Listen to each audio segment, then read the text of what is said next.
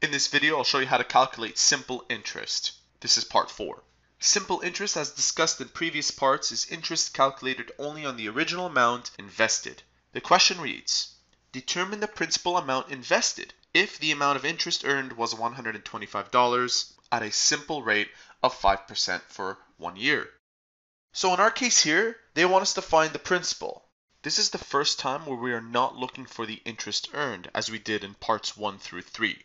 So let's write down everything we know. We know that I is equal to $125. Principal is what we're looking for, so I'm going to put a question mark beside it. The rate is 5%, so that's equivalent to 0.05 as a decimal, and t is one year. I'm going to plug in everything I know into my formula. My formula is right here. I is equal to PRT. I is 125. P is blank. I'm going to leave it as P times 0.05 and 1. So this has essentially become a very simple algebraic problem. All we have to do essentially is solve for P. Now on the right side, it's pretty easy. 0.05 times 1 is 0.05. So I'm going to divide both sides by 0.05, and look what happens. Dividing this side and this side, watch.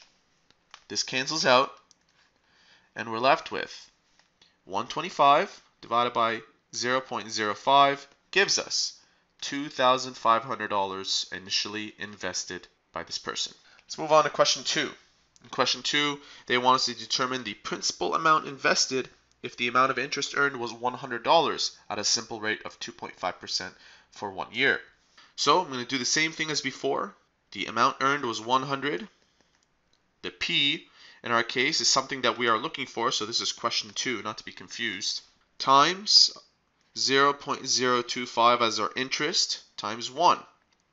Dividing both sides now by 0.025 using the same method as before gives us 4,000.